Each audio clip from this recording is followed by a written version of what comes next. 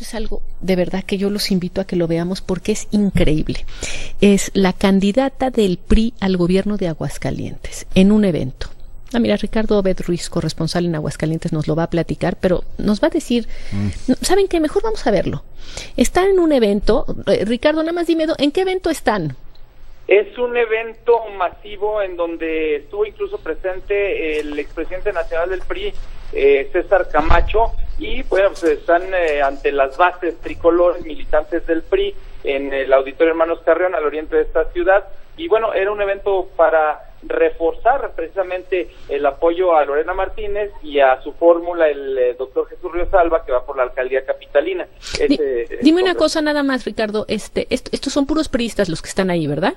Eh, efectivamente. No, o sea, no es, no es que esté a la población abierta. Ellos hicieron una reunión de priistas. Muy buenas tardes. Mi nombre es Gabriela López Sánchez y yo no pienso votar por el doctor Ríos.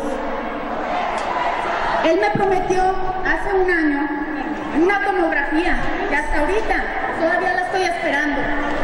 ¿Eso bien?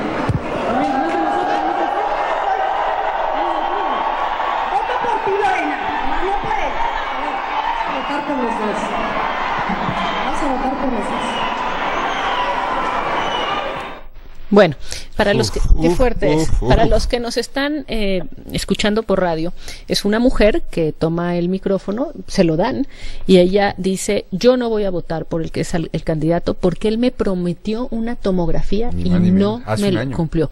Lo que es escandaloso de esto es que la candidata, en el instante en que oye eso, le tapa el micrófono.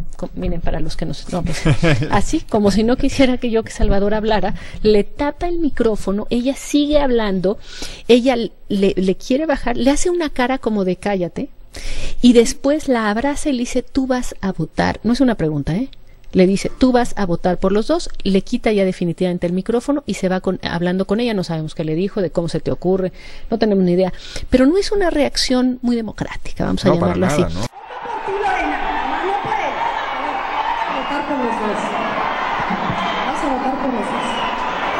Mira, Denise, si me hubiera abrazado así la candidata y me hubiera dicho, vas a votar por Te hubieras muerto del susto. Bueno, mis Las rodillitas estarían así, mira. No, es que esa mujer es una, es una, mujer muy valiente que además dijo, oye, es que este señor, pero yo voy a votar por ti, no es que no sea priista, pero este señor... Es impresentable. Hace un año me prometió una tomografía y aquí estoy. Y entonces esta mujer, que es la candidata, ¿qué es lo que le nació? Le nació apagarle el micrófono, por cierto, hay que decirle que aunque le pongas la mano al micrófono, la potencia que tiene no le sirve. Y después no le dijo, yo te voy a convencer, vas a ver, eh, hubo un error aquí, lo vamos a resolver, estoy segura que el fulanito de tal, que es el candidato. Ven, ven, ven Cuéntanos qué fue lo que pasó, porque seguro tiene una nos comprometemos aquí y a, todos los que les haya pasado algo raro. Nos vemos, nos vemos. Pero cuando la abraza y le dice, vas a votar por los dos, yo quisiera saber si esa mujer beneficiaria seguramente de algún... Bueno, eh, la, buscamos mañana. No, hay que, hay que, buscar, por favor, hay que buscar a esa mujer, para eh, ver. porque yo quiero saber si de pasada ya la amenazaron, porque la actitud es amenazante. Bueno, y además... Es muy amenazante. Hay que, hay que dar un dato. Estamos hablando de una candidata que antes fue la titular de la Profeco. Y si fue la titular de la Profeco fue porque es amiga del presidente de la República. Entonces, perdón, no es un cuadro ahí priista suelto en un estado de la República, es un personaje con un ascendente. Está muy bien, pero que se haga cargo de ese comportamiento autoritario. por eso, ah. pero pero eh, lo que digo es así de respaldada se siente que la, quien la puso ahí fue el presidente de la República. Ricardo, eh, ¿ha pasado algo después de eso? Sí, Denise, efectivamente, hoy en la mañana la presidenta estatal del PRI, Norma Esparza, eh, bueno, habló sobre este eh, hecho que llamó la atención a nivel nacional, ya como lo estás mencionando, pues y ella agrega que aparte de, esta situación, eh, panistas llegaron al evento y soltaron ratas, lo cual... ¿Soltaron eh, qué? Ratas. ¿Ratas literalmente o es un...? Exactamente, roedores. Roedores. Mm. No, es que... Voy a buscar el nombre científico. ¿Y entonces?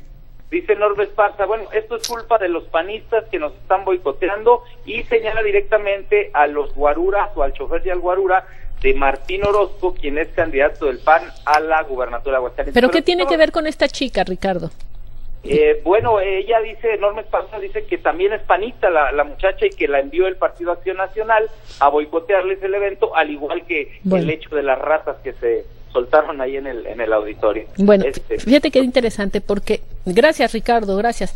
Yo, yo te voy a decir una cosa, imagínate que fuera panista y que se hubiera metido, no importa, porque lo que nos importa no es lo que dijo la chica, lo que nos importa o lo que debería importar es la reacción, cómo reaccionas cuando alguien te dice a ti, no te, no, tú te, ya, te tiemblan las rodillas, nada más de que Lorena te pueda abrazar. No, no, a mí que no vaya a decir, vas a votar por Vas a votar por los dos. Yo voto en la Miguel Hidalgo, entonces no puedo. Qué barbaridad. Le hablamos, por supuesto, a Lorena, ¿eh? no crean que, por cierto, que siempre fue muy amable cuando estuve, le hablamos para ver si quería, que no, que no quería platicar del tema.